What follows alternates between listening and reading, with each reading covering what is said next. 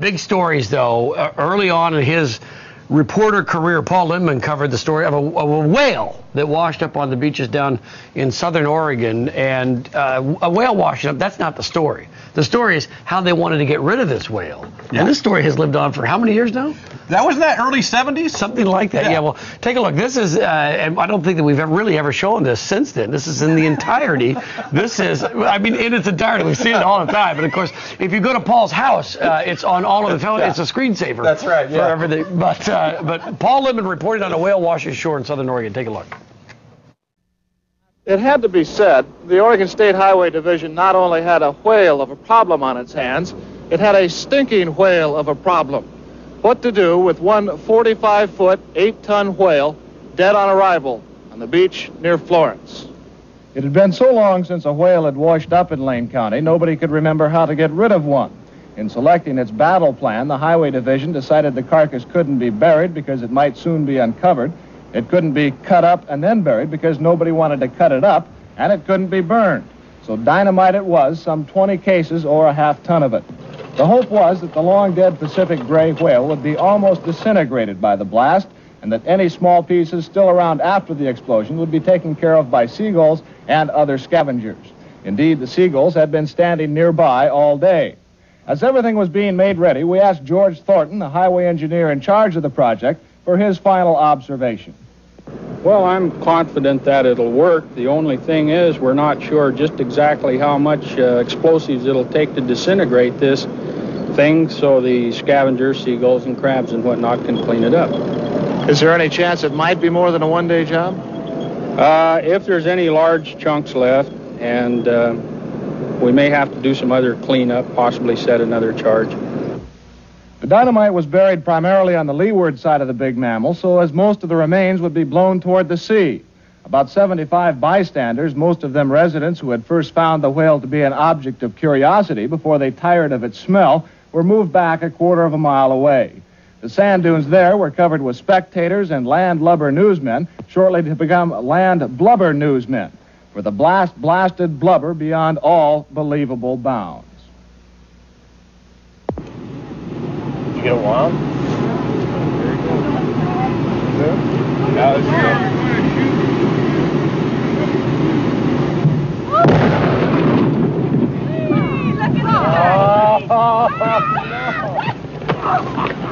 All right, Fred, you can take your hands out of your ears. Here comes pieces of. Our camera stopped rolling immediately after the blast, the humor of the entire situation suddenly gave way to a run for survival as huge chunks of whale blubber fell everywhere. Pieces of meat passed high over our heads while others were falling at our feet. The dunes were rapidly evacuated as spectators escaped both the falling debris and the overwhelming smell. A parked car over a quarter of a mile from the blast site was the target of one large chunk. The passenger compartment literally smashed.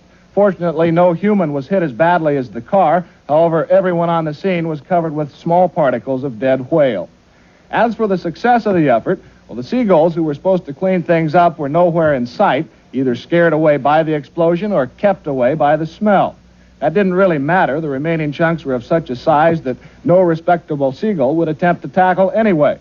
As darkness began to set in, the highway crews were back on the beach burying the remains, including a large piece of the carcass which never left the blast site. It might be concluded that should a whale ever wash ashore in Lane County again, those in charge will not only remember what to do, they'll certainly remember what not to do.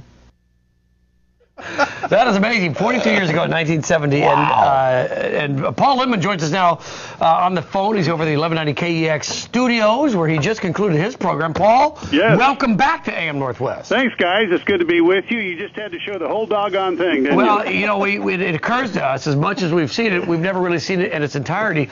And, you know, that's still an amazing story and, and very well done. And I love the line, Paul, the blast blasted blubber. You know, I've had my grown sons repeat that to me so many times. I'm sick to death of it. But, but in all seriousness, you know, it was decided a long time ago by uh, media watchers that was the single most watched television news story in history. And many years ago, the BBC uh, did research indicating it was the fifth most watched video ever. At that time, 350 million unique hits, and that was a long time ago. uh, and you've received a nickel for every airing. I got, uh, I think it was $120 from ABC uh, back in 1970, and that's pretty much been it. Uh, as we as we sit here today, Paul, and, and talk about KATU celebrating its 50th anniversary on the air today, you were here for about half of that. I was in two chunks. I started at KATU in 1969, and when I left in 2003, I think I had 26 years uh, in total at, at KATU. And and uh, as you found out since, Dave, it, it was a great place to be, and especially because they let me do this this series I did for years, The Spirit of the Northwest. We did 1,215 stories on inspirational people right here at home, and I don't know of another television series of that length on such positive subjects anywhere. Yeah, and uh, and it was a and it was a good series. Well, Paul, thanks for joining us today. I know you're you're you're busy. You've got a lot of things going on, but I I, I got to tell you that well video. I don't know that I've ever seen it from beginning to end. That's the first time I've seen it. That's the entire pretty good. length. It That's was pretty very good good. watch. Really? Very well well done. I, I'm glad you enjoyed it. And uh, um, Helen uh, Raptis, uh, I like your gray suit and tie, but your your hair looks a little weird today. I just hope I never wash up on a beach. well, you know what?